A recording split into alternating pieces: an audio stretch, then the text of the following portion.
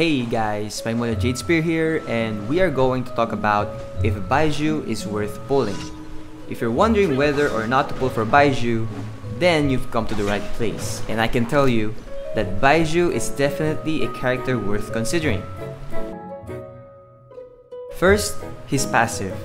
Imagine you're in a low health while exploring, having him on the field and collect those um, collectible items found in the map of the bat well, commonly flowers or ascension materials, etc. Anyways, this passive is so unique and creative and kind of makes sense because the fact that he is a doctor, right? Secondly, his elemental skill and burst.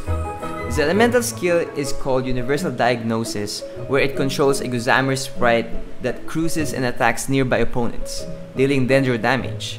After it performs 3 attacks, or if there are no opponents nearby, the sprite will return, healing all nearby party members based on Baizhu's max HP.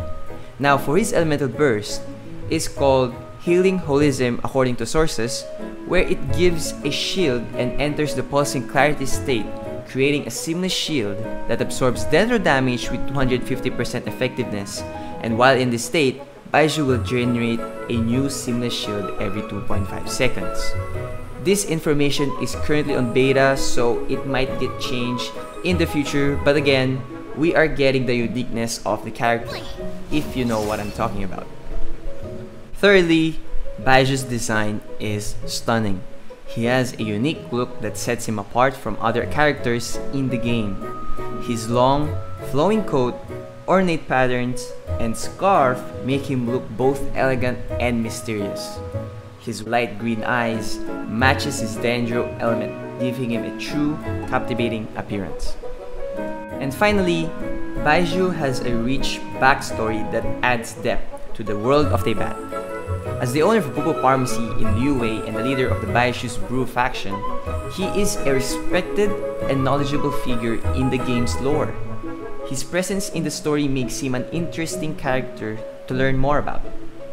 In conclusion, Baizhu is definitely a character worth pulling for in Genshin Impact. He is a unique addition to any team, has great abilities and gameplay, and has a captivating design and backstory. So, if you're looking for a new and exciting character to add to your team, then Baizhu is definitely worth considering.